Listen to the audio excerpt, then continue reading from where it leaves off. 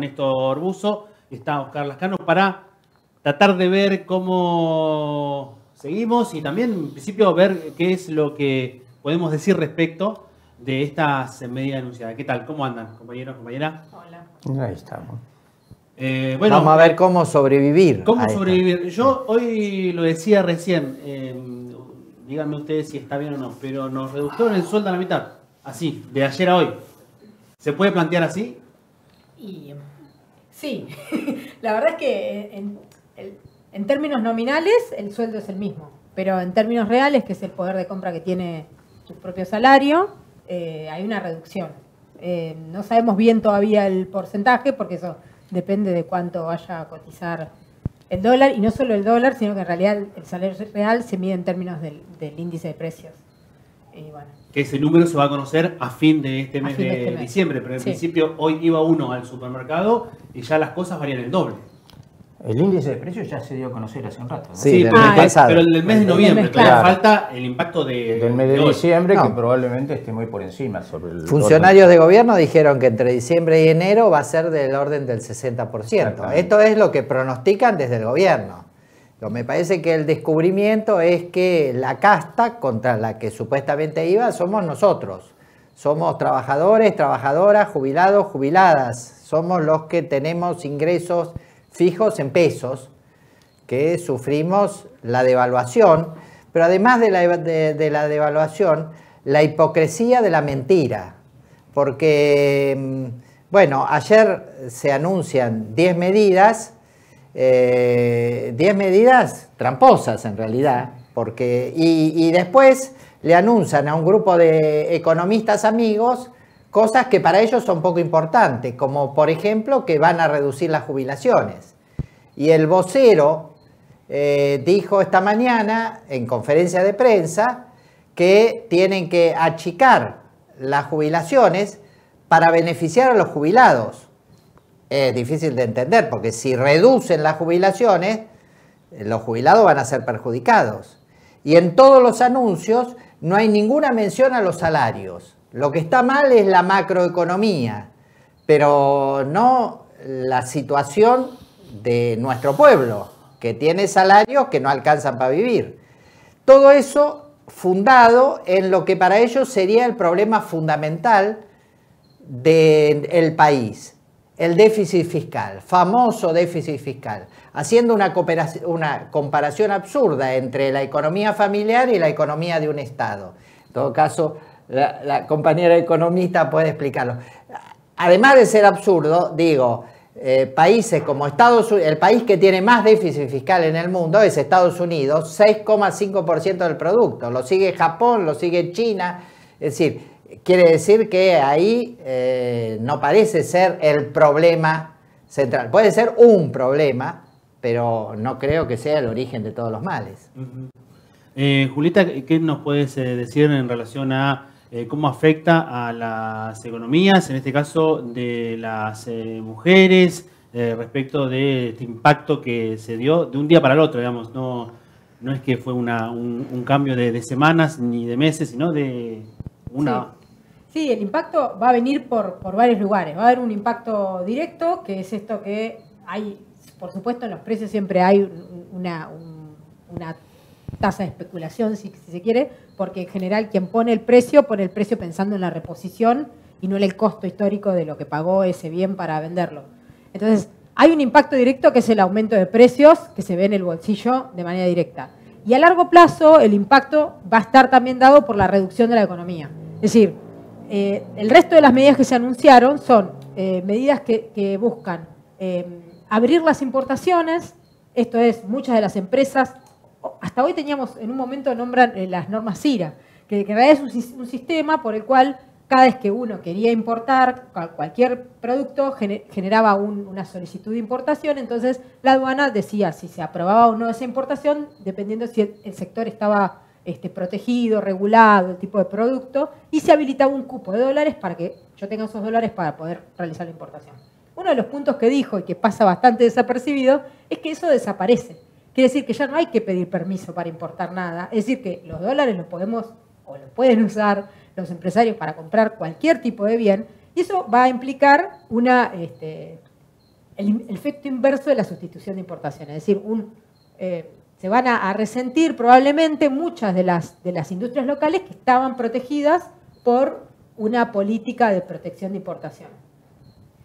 Con lo cual, eso va a reducir este, muy probablemente la cantidad de, producción del, país. De fábricas, digamos. Claro. O por lo menos de, cosas que se producen acá. Exacto. Porque va a venir la competencia directa desde otros destinos, de otros países. Exacto. Y, si bien, de hecho, la suba del dólar, ellos la, justifican, digamos, como eh, para compensar el tipo de cambio eh, y los términos de intercambio en términos de nominales, ¿no? Es decir, que, que el dólar en términos relativos está al mismo nivel, entre comillas, que en el 2002.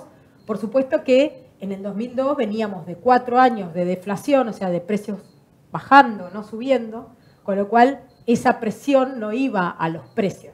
¿sí? Porque una cosa es el tipo de cambio y otra cosa es el índice de precios. ¿no? Los precios están en pesos, es, la inflación es la variación de los, precios de los bienes que transamos en la economía y, la, y el tipo de cambio es la, el valor a los que se compra la divisa extranjera. Por supuesto que tiene un impacto en la variación de la divisa extranjera porque muchos bienes que consumimos en la economía son importados y muchos bienes de los que producimos tienen insumos importados. Nosotros en Argentina tenemos, por ejemplo, una gran industria en, términos de, bienes de salud, de servicios de salud, los laboratorios. Muchos laboratorios son eh, de industria nacional, pero los insumos muchas veces son importados, diría en un 60%. Es decir, que a los precios eso va directo. Entonces hay un efecto en corto plazo y un efecto en mediano plazo que se va a sentir por, eh, probablemente haya algunos despidos, probablemente haya una reducción de la economía, ¿no? que es un poco lo que las medidas buscan, ¿no? enfriar la economía, porque hay una teoría que dice que eso haría reducir los precios.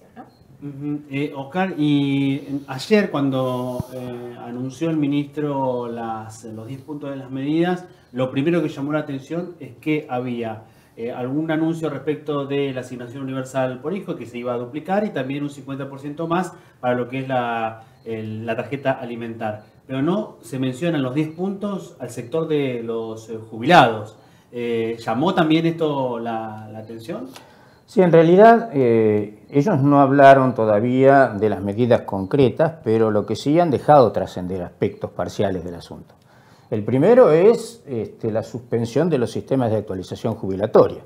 Actualmente nosotros tenemos un sistema que ya es muy malo para el jubilado, este, pero que de todas maneras trimestralmente permite algún nivel de actualización. Sí, aumento.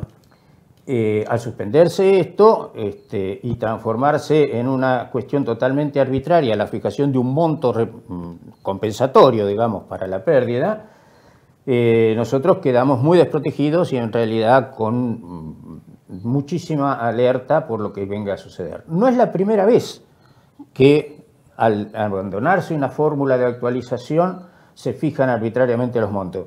Alberto Fernández lo hizo también cuando se abandona la fórmula de actualización que venía del periodo macrista, ahí también se fijó de manera arbitraria un, monto y a partir de allí se estableció la actualización con el nuevo sistema. Un nuevo sistema que en realidad no se respetó ni siquiera en sus mm, variantes concretas, tanto es así que durante el último año nosotros hemos perdido prácticamente uno de cada cinco pesos de poder adquisitivo real. Y también se aplicaron muchos bonos, ¿no? Durante los bonos han venido a achatar la pirámide de, ingresos de los este, jubilados. Eh, en realidad, hay, eh, los bonos se, se aplicaron de tal modo que hoy la categoría más baja inclusive superaba la segunda categoría, con lo cual las dos quedaron unificadas en una única categoría. Y a partir de allí se establecen los montos hacia arriba. Las jubilaciones muy superiores tuvieron el beneficio que ahora inclusive se empieza a cuestionar del este, descuento por la cuarta categoría. ¿no? Sí. Pero digamos, hay una serie de, etapas intermedias, de escalas intermedias que no tuvieron ese beneficio, que este, lo único que pudieron acceder es al descuento del 21% de IVA en las compras, hasta un monto además de 18.800 pesos. Bueno, esta es un poco la situación. Ahora, eh, se está pensando, si nosotros no tuviéramos actualización ninguna, con los montos actuales no estamos cubriendo ni siquiera la mitad de la canasta alimentaria básica de un adulto mayor. y no hablar de que esa canasta básica está calculada sin alquileres. ¿no? Por lo tanto, este, el que alquila eh, sería imposible. Anoche nosotros estábamos, hicimos la primera asamblea de la coordinadora de jubilados, estábamos en plena reunión cuando estas medidas empezaron a surgir. Eh, volvimos a casa terminada la reunión y era una catarata de gente que llamaba desesperada porque al margen de las cuestiones económico-financieras, la angustia que se ha generado a nivel de los este, jubilados es espantosa. Llorando, una señora me decía llorando, este, yo no puedo pagar el alquiler y los servicios porque no como. ¿Qué dejo de pagar? ¿Qué puedo empezar a hacer? Este, otro jubilado me decía, nosotros en la condición que tenemos, dice, tenemos que ya pensar de que no vamos, tenemos que abandonar la casa donde estamos. Entonces empezamos a tener una situación de angustia que es verdaderamente, yo creo, tan grave, tan grave como las carencias que podemos tener por ingresos.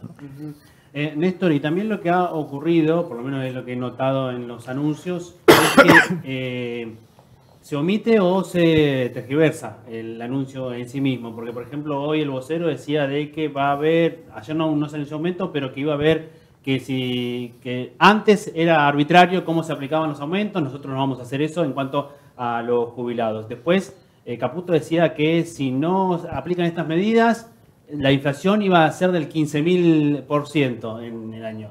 ¿No? Se dan estas, eh, como tratando de justificar, se tergiversa lo, lo que en realidad puede ocurrir en el futuro, que evidentemente nadie lo sabe. ¿no? La comunicación es muy hipócrita.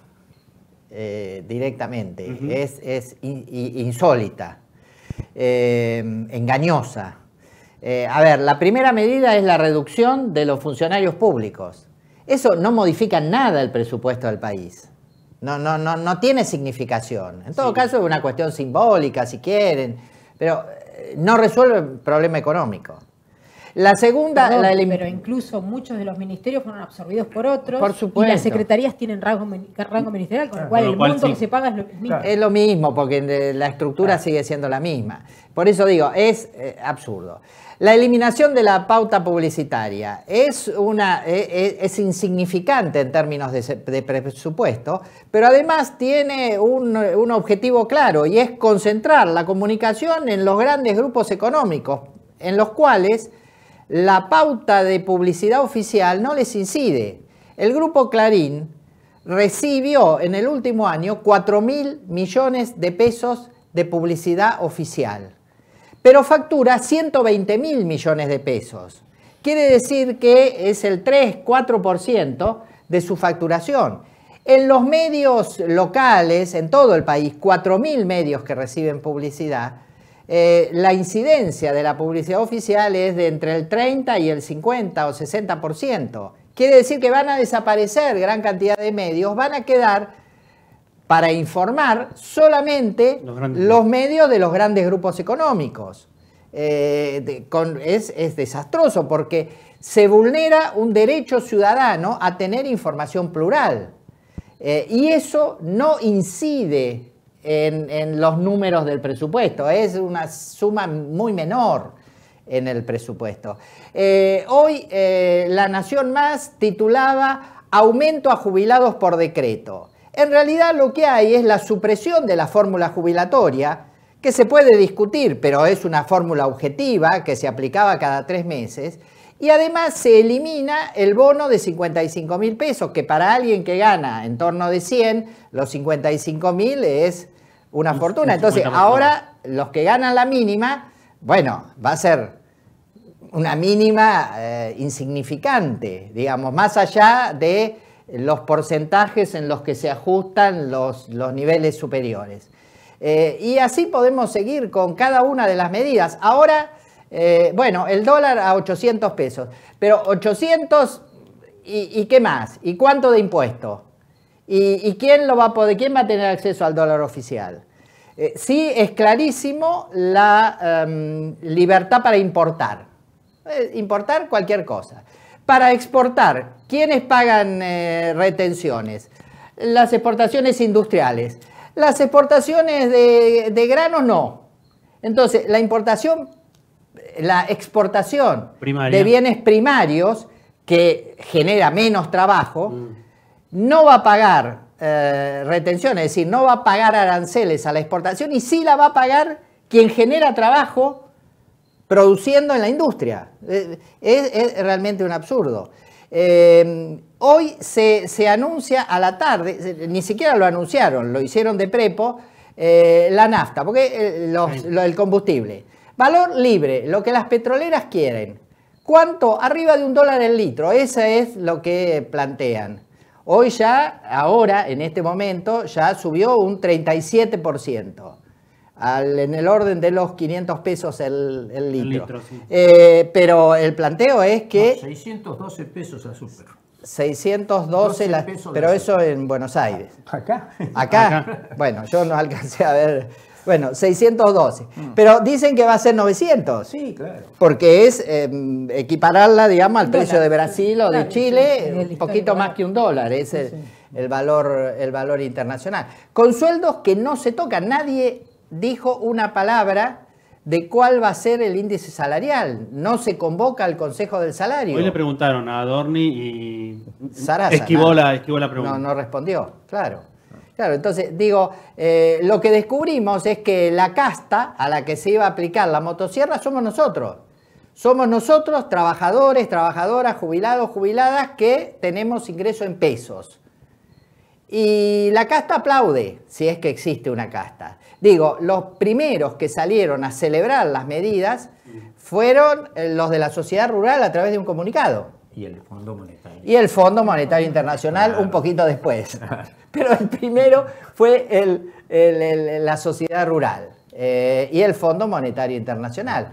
Eh, bueno, un ajuste violento eh, que yo no sé qué em, capacidad tienen de sostenerlo en el tiempo, porque dicen, esto es solo el anticipo, ahora se vienen las medidas estructurales que tendrán que pasar por el Congreso en un gobierno que está en absoluta debilidad en el Congreso. Tiene 37 diputados y tiene solo 7 senadores. Vamos a ver cómo funcionan eh, para eh, avanzar con sus proyectos, si es que respetan las instituciones de la República, si es que respetan la ley y la Constitución, cosa de la que tengo dudas después de los, de los gestos que hubo en las últimas horas.